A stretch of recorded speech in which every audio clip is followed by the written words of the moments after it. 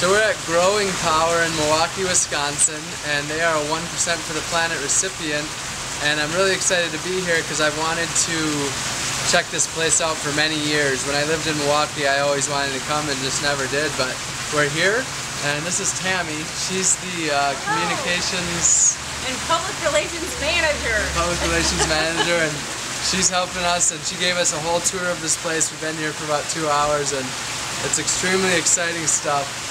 One of the most uh, exciting statistics is that they grow over a million pounds of food per year uh, here in this urban farm, which is three acres, right? Um, and it was started 20 years ago, but it's really started to pick up over the last 10 years. 10 years, yeah. and really over the last couple. The last year or two with a, a lot of offsite locations this time of year. Planting is huge. Uh, we have hoop houses and greenhouses all over Milwaukee County. We have uh, rural farms where we take a lot of our, we call starter plants out and, and plant them in the, the, fields out there. So this is a big year for us. we have experienced a lot of growth. Thankfully, and we're going to be able to feed a lot more people cool. So what would you say the main uh, goals of Growing Power are? Uh, Mr. Allen has said, Will Allen, who's our farmer founder and CEO, he he started out, he was looking for a place 20 years ago to sell his own produce from his own farm.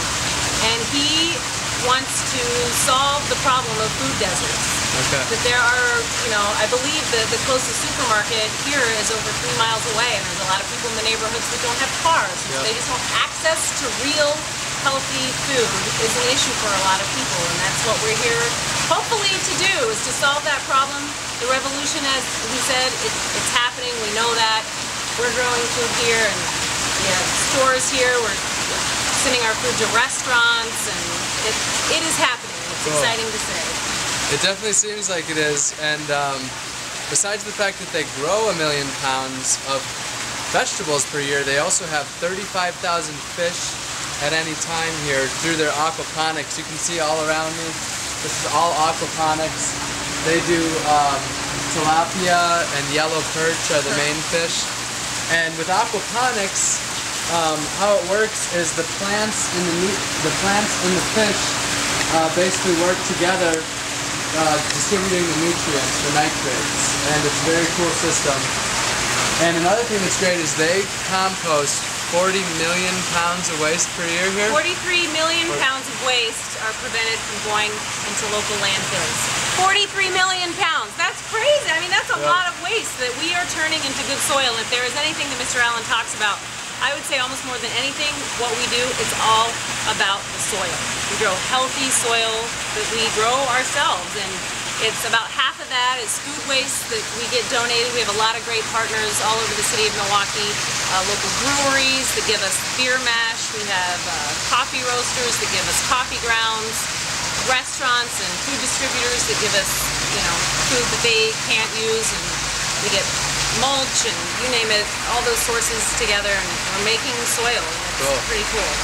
So as you know, on this trip I've been learning just how much food waste we have in the United States 30% of the food that Americans purchase goes into the dumpster, which is $165 billion worth of food a year. So basically, money's being dumped right into the dumpster, but it's even more time intensive than dumping the money. So they actually are able to divert 21 million pounds of food per year from what would go to the landfills and instead turning it into a product that is being used to grow food. And that's uh, kind of the way that the earth is designed and the way that it should be. So it's been an absolute pleasure to be here. Uh, their website's growingpower.org, right? Mm -hmm. And follow uh, us on Facebook and Twitter. Lots of updates. We'll be talking about their visit. Facebook.com slash growingpower. Yeah. Yep. And uh, we'll be doing a post about them, of course. And uh, really excited if you want to learn about good ways to get involved with the community. If you're here in Milwaukee, they accept volunteers and they're just doing amazing things. So growingpower.org and you'll learn more about them. Thanks, Thanks for having for us. Yeah, oh, fun. Thanks for coming. This is fun. Glad we could spread the word. That's cool. Yep. Welcome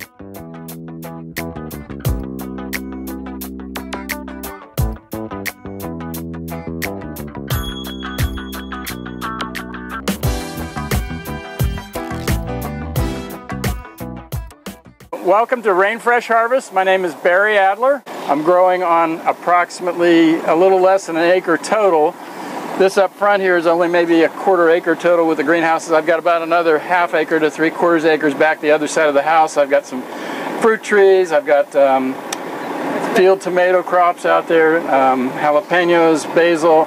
Uh, down here out in the field I've got a few tomatoes, basil, uh, blackberries, uh, a variety of peppers, um, some cucumbers, and um, in the greenhouses here I've got mizuna, arugula, cucumbers, spearmint, um, and I've got a variety of fish uh, aquaponics operations in there too.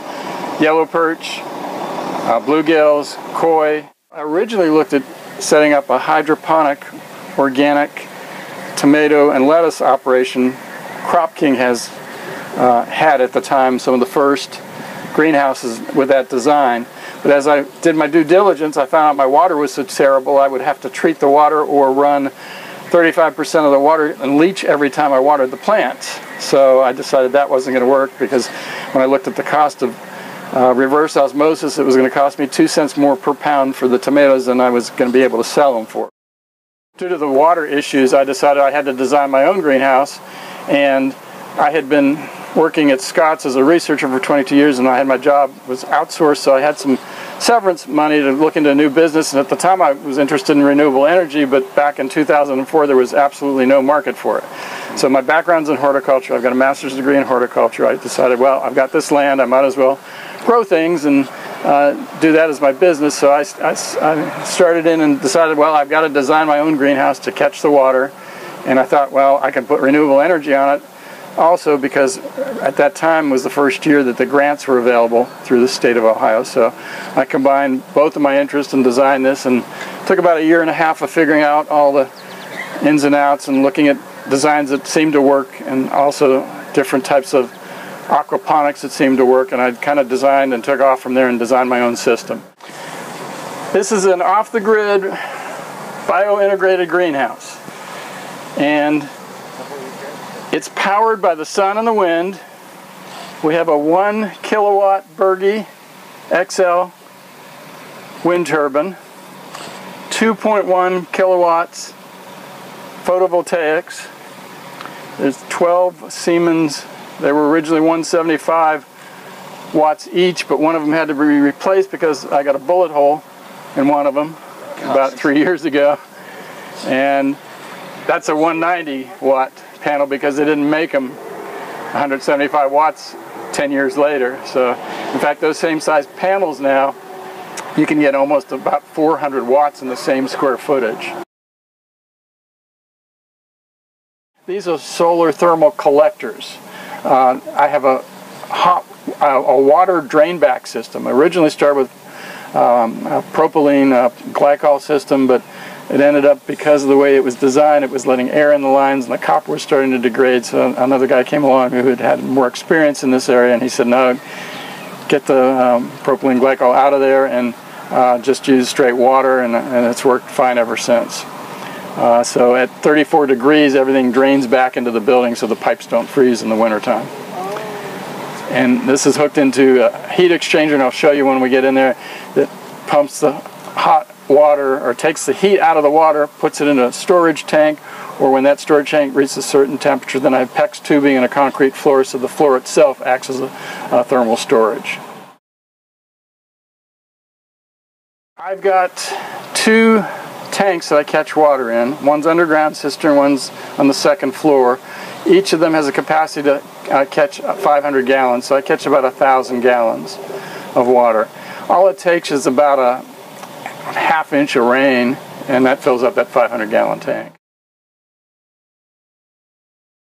If there's no wind or no sun, I've got battery backup storage that'll hold about three to four days running everything, but then when I know I'm not going to have sun or wind, I start shutting down things. I got about 40 different circuits in there. I can flip everything off and only run the essential systems, the bubblers for the fish, and irrigation and uh, fans inside the greenhouse. So I can stretch it out to five, six days if I need to. Uh, when that runs out, then I have a, a gasoline generator, which